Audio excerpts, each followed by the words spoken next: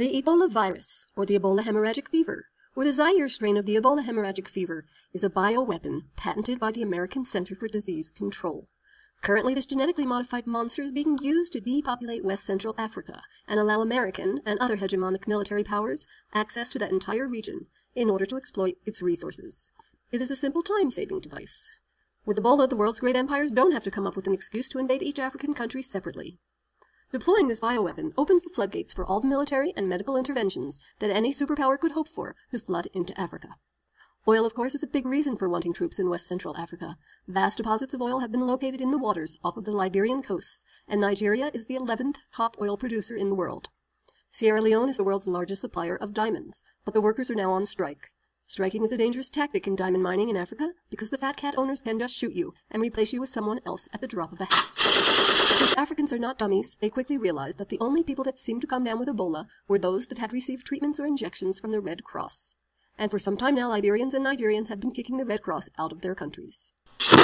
So why do you think that Obama sent 4,000 ground troops, with no medical background and only four hours of training in infectious diseases, to Ebola-plagued Africa? Could it be to secure the oil resources? Or is it to stop the Union strikers in the diamond mines? Or is it to force the Africans to take vaccines? Or are they to become victims of the Ebola virus themselves, later to be sent home to infect the domestic populace? Maybe all of the above. In the US, the Ebola virus is being used to create the appearance of a pandemic in Africa which is raging out of control. Because of America's open borders, frequent medical screw-ups, massive U.S.-sponsored immigration, Obama's feigned incompetence, and mainstream media fear-mongering, the people in the United States are beginning to feel threatened. If the mainstream media can pump enough terror into the public consciousness, this fear could be used to install medical martial law, inflict quarantines in FEMA camps, and force Ebola vaccinations at gunpoint. Time for a little history lesson. In 1967, a hemorrhagic fever broke out simultaneously in Germany and in Yugoslavia. It was dubbed the Marburg virus. It was thought to have been carried by lab monkeys from Uganda, although numerous shipments of monkeys from the same dealer were sent simultaneously from Uganda to the US, Italy, Japan, Sweden, and Switzerland with no virus. This prompted an investigation which found no evidence that the disease had occurred in the animals or natives in Uganda. Therefore, most experts concluded that the reservoir of the Marburg virus must be in the native habitat of the monkeys, although nothing could be found there either. Coincidentally, just across the border from Uganda in Zaire existed the infamous OTRAG base. This is a known CIA petri dish for lethal hemorrhagic viruses. Experimentation founded jointly by convicted arch global war criminal Henry Kissinger and Dr. Sidney Gottlieb, the CIA's Dr. Death. Were the monkeys infected by the Litton Bionetics rhabdovirus experiments going on at that time? This hypothesis may be highly likely since the United States Center for Disease Control, an independent corporation and a priority organization of the CIA, controlled by the Rockefellers, launched a massive campaign to sabotage the international effort to locate the real source of the Marburg outbreak. The CDC developed a bogus testing procedure that fed the international scientific community massive misinformation during the first critical years after the infection occurred, right at a time when interest in the outbreak peaked and useful studies could have taken place to track down the real infecting agent. Ah well. The next outbreak occurred in 1976 simultaneously in Zaire and Sudan. This outbreak had two major results. It produced 537 cases with 362 deaths and caused President Mobutu of Zaire to scramble back under the control of the U.S. after flirting with Russia and Chinese communism and balking at the imposition of forced Catholic icons in public schools. Foolish Mobutu. Since the 1970s, the Pentagon has had a biomedical research center in the Kenema Government Hospital in Sierra Leone. Remember the diamond mines?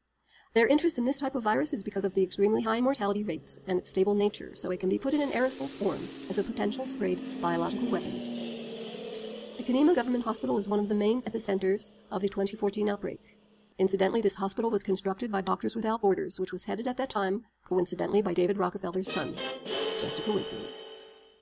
In 2007, the National Institute of Health gave Tulane University a $3.8 million grant to develop Ebola detection kits, and in 2009 they received another $7 million and began to develop a new emergency ward at the Kenema Government Hospital. As you might suspect, to do this kind of research it is necessary to have a quantity of the virus on site. And it's quite a coincidence that a major outbreak occurred right after $10 million was pumped into Ebola research in Africa in a matter of just two years.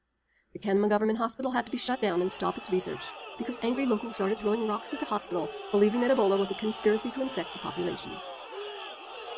Now, why would they believe this to be true? Why would first-hand witnesses living in the infected countries claim that there is something fishy going on? Why is a plant pathology expert under the impression that this virus has been developed by the U.S. at the Kenema Government Hospital? Do they know something? Maybe that is why the hospital actually had to be guarded against locals who were attacking the place because they believed it was making them sick. At least eight Ebola AIDS workers have been murdered by the civilians of Guinea. They believe so firmly that these workers are responsible for making them ill. An Ebola is Real campaign is in full force in Africa to convince people that they are not being infected with the virus through vaccines, that it is a naturally occurring health threat. Most Africans don't buy it. They know where the disease is coming from. To further convince the public, formaldehyde has been dumped into the water supplies of some villages to produce Ebola-like symptoms, including death in the population.